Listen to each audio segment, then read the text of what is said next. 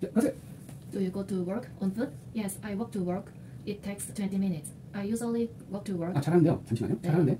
되게 발음 어떻게 한다고 했죠? 아, 너그 이어서요? 아니, 아니. 어? 되게. 되게 아, 발음 단어만. I usually, usually, 유, 유. 수, 슈 발음 나오면 안 되고, usually. 즈 발음, usually. usually. 예, 절대상으로는 S잖아요. 네. 어, 근데 발음상으로는 즈 발음이에요. usual. 음. 음, 다시 한 번. I 3번. usually walk to work on Saturday. Mhm. I don't walk to work. It, it is tiring.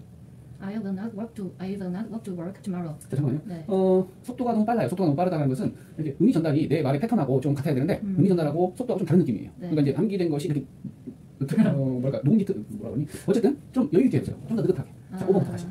I will not walk to work tomorrow. 훨씬 좋아요. 지금의 속도가 본인의 그 어, 어떤 말의 패턴하고 맞는 것 같아요. 네. 음, 6번요. I walked to work yesterday. I have to walk to work. He walks to work. She has to walk to work. She doesn't walk to work. 이게 문장과 문장을 정확히 끊어서 가세요. 네. 문장과 문장이 바로 이어지는 느낌이에요. 네. 어, 8번 침 꿀떡 삼키고 또 음. 그다음 문장 마무리했으면 침 한번 삼키고 이런 느낌으로. 음. She has to walk to work. 응? She She doesn't walk to work. 아, 이렇게, 이렇게 끊어서. 가시죠. 문장과 문장 사이를. 오케이, 잘하셨습니다. 아주 좋아요.